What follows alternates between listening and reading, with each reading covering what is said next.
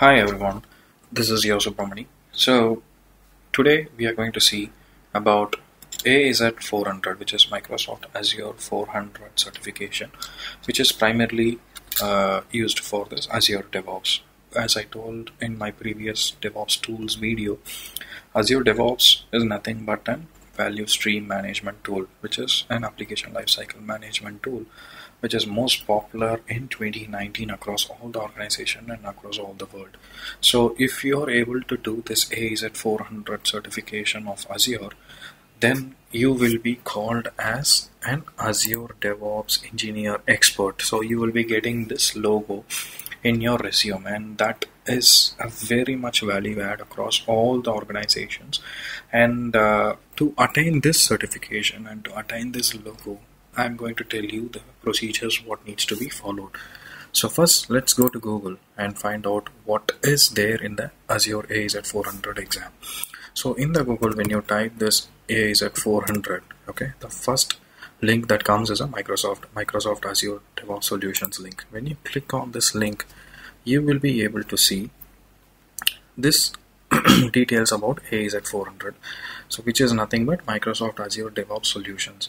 And when you complete this AZ400 exam you will be able to get this logo called as Microsoft Certified Azure DevOps Engineer Expert.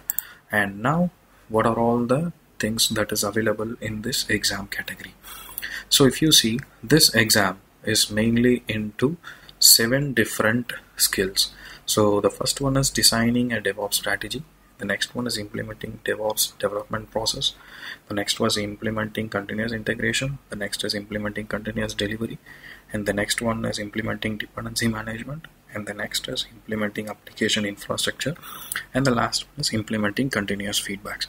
And if you click on each and every one, of the link then it shows you how much percentage of the uh, questions will be covered in this particular skill matrix of that exam so this designing a DevOps strategy contains 20 to 25% of the questions in the exam.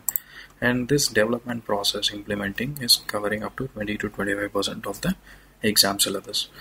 And this continuous integration has 10 to 15 percentage of weightage of questions. And this continuous delivery has 10 to 15 percent. And the dependency management is having 5 to 10 percent and the application infrastructure is having 15 to 20 percent. And the last continuous feedback is having 10 to 15 percent. So depending upon each and every skills you can see what is the syllabus covered uh, inside each and every skills. So if you're able to uh, find out like which is your key area. You can focus more on that. And the rest of the areas you need to put some extra practices to cover everything. But on the whole these seven skills will be covered in the AZ 400 exam. And there is a gentleman called as Gregor Suttie so he has posted an Azure DevOps exam links and everything.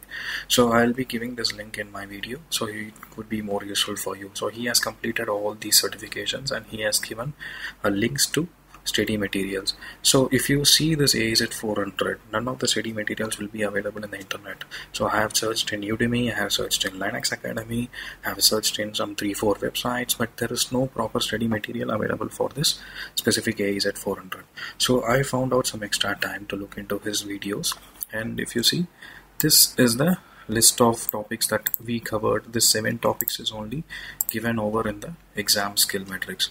So this each and every topics if you click on it it takes you to another link. And this is a Microsoft Open EDX website which Microsoft is giving its own learning. So what you need to do you need to sign into this using a Microsoft account or an Outlook account and you will be logged and you can enroll this AZ400 so this is at 8 hours video tutorial which you can take. And at the end of each and every tutorial there will be a final exam. So this course and everything is absolutely free. You don't need to pay anything for it. And at the end of the each course you will be having some 10 to 15 questions depending upon the topics that is given in the exam. So if you are able to cover the final exam you will be getting a certificate from the Microsoft stating like you have completed this DevOps implementation process. Similarly, for each and every topic, so for this implementing continuous feedbacks, again you can sign into this open edX and you can enroll it. So for 400.1, 2, 3, 4, 5, 6, 7, you can get these learnings from these particular links and if you complete all these seven uh, links and if you are able to pass all these seven exams then you are very well free to go ahead and subscribe for this exam which is an official exam and for this you need to pay $165 so depending upon your region for example if you are in India it will be around 4500 plus VAT. So if you are in any other regions depending upon that region you need to pay the fees accordingly. And there is also some options available such as you can get some so if you're in India you need to pay 4800 INR so there is an option available in Microsoft which is certify with confidence. So what it does is like it gives you an option of buying extra two free takes. So for example here if you see you can have another two free retakes available if you are failing on the first attempt hope you are not failing on the first attempt but if you do fail so you will get extra two vouchers to take a two free exams so if you click on buy now it will be around $80 so if you pay $80 along with the exam fees, you will get Microsoft vouchers to take two retakes. So if you wanted to have this practice exam and along with that two retakes, then you can click on this one.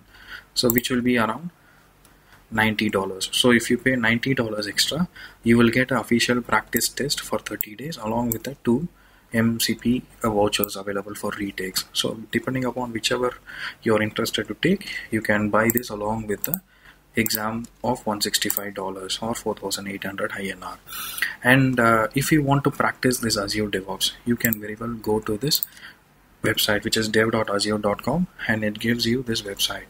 So you, if you have already have an account you can log in and you can practice this